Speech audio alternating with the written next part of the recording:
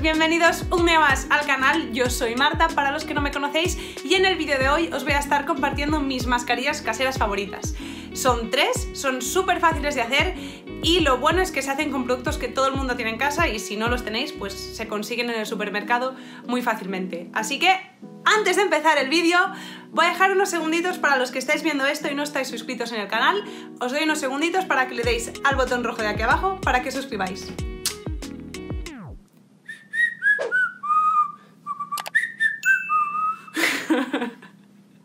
Muy bien, ahora que os habéis suscrito, vamos a empezar con el vídeo.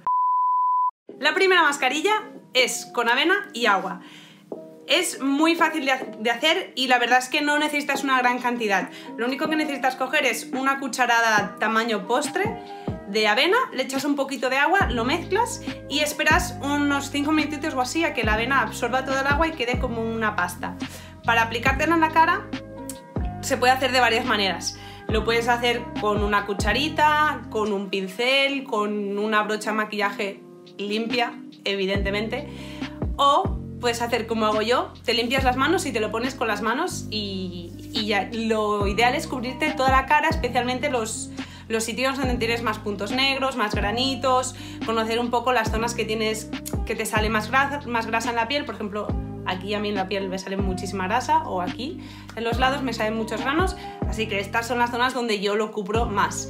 La idea es dejarte eso ahí en la cara todo pegado durante unos 15-20 minutitos hasta que se ha secado todo y luego te lo, te lo sacas con agua, con agua tibia te lo sacas con bastante agua. Lo ideal a la, hora de aplicártelo o de sacártelo es eh, hacer masajes circulares, así, para ayudar a la piel un poquito. Y ya está, eso sería todo de la primera mascarilla. Lo bueno de esta mascarilla es que la, avena absorbe el, exceso de grasa, es un exfoliante natural y luego te deja la piel súper, súper, súper suave y hace que, que, los granitos o se vayan o no salgan o los desinflama un poquito. Así que es muy fácil de hacer, la probáis, me contáis cómo os va. Es muy fácil. Y eso sí que sería todo para la primera mascarilla. Pasamos a la segunda mascarilla. La segunda mascarilla se hace con miel y ya, o sea, es súper sencilla de hacer. Cuanto más pura sea la, miel, mejor va a ser, mejor el resultado. Se coge una cucharadita de miel, igual, una cucharadita de postre, no mucho más, porque la idea no es empatucarte toda la cara, sino que quede repartido a partes iguales. Entonces coges la cucharadita de miel y la manera de aplicártelo es la misma que con la de avena. Te lo puedes hacer con una cuchara, con un pincel, con una brocha de maquillaje limpia o con las manos. Yo prefiero con las manos porque es mucho más práctico y mucho más fácil. Entonces te la aplicas por la cara, así haciéndote un masajito de forma circular y te la dejas igual 15-20 minutos.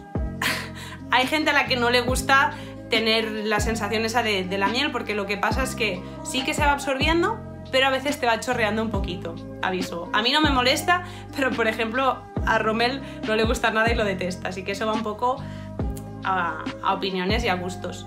Luego igual a los 15-20 minutos os la quitáis con bastante agua tibia y ya. Lo bueno de la miel es que luego deja la piel súper, súper suave, es un exfoliante natural y es un limpiador natural, deja la piel súper limpia, hace que no te salgan granitos o que se te vayan los que tienes, los desinflama muchísimo y es antibacteriana, por lo tanto limpia muchísimo los poros y deja la piel súper, súper, súper suave. Así que eso es todo por la segunda mascarilla. Pasamos a la tercera.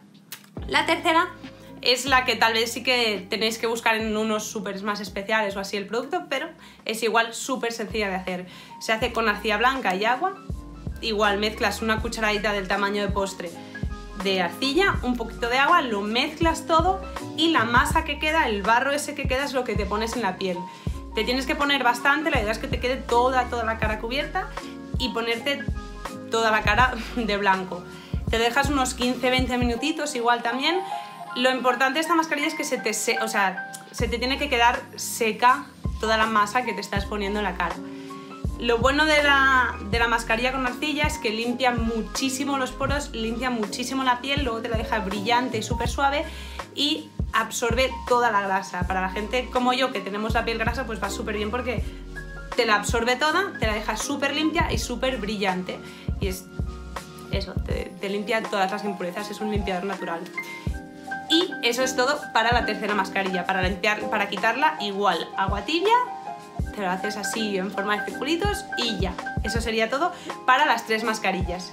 Y os voy a dar un bonus, un extra, por si os interesa, que es una, sería una cuarta mascarilla, que se hace con aceite de coco y azúcar, que eso es un exfoliante que te puedes hacer tú en tu casa. Mezclas una cucharada de aceite de coco por una de azúcar, lo mezclas todo y te puedes exfoliar la piel de los brazos, de, los labios, de la cara, de todo el cuerpo. Y luego cuando te lo quitas te deja la piel súper, súper, súper suave, súper brillante y súper... Ah, ah, súper agradable.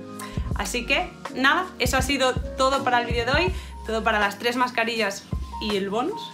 Espero que os haya gustado y que si probáis alguna me lo hagáis saber en los comentarios. Si conocéis alguna otra mascarilla que sea natural de estas, este estilo, por favor hacedmelo saber. Y si os ha gustado el vídeo no olvidéis darle un like, dejar un comentario y suscribiros. Nos vemos en el próximo vídeo. ¡Besitos!